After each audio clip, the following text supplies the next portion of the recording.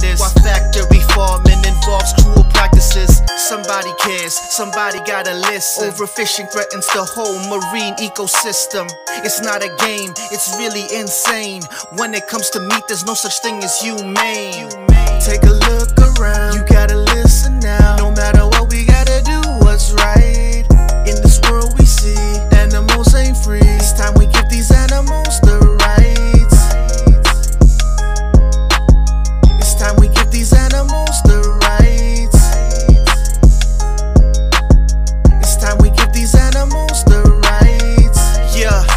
It just doesn't make sense. We violate animals by doing experiments on them, and these procedures are just awful. And it sucks, cause these species AWA ain't got them.